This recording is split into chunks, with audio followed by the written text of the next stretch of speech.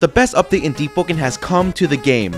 Previously, the only thing that separated armor was the look and the stats it gave, which was the only thing important, as if you had a 10 HP Starduster, you wouldn't use it over a 20 HP Wood Pauldron.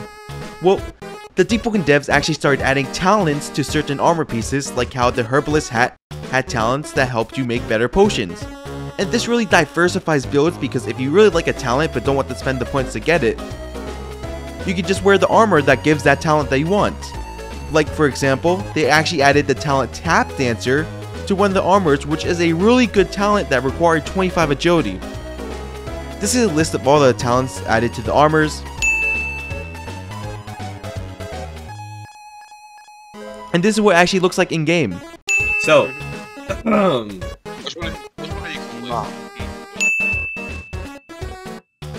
We can probably expect more talents to be added to more armor in the future, and this will actually help builds a lot, so I'm excited for it.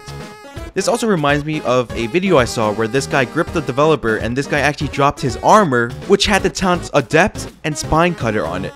So we might be seeing like talents like those. But yeah, probably not, but it would be nice to imagine. Thank you for watching and please consider subscribing as I'd really appreciate it. Thank you so much and bye bye.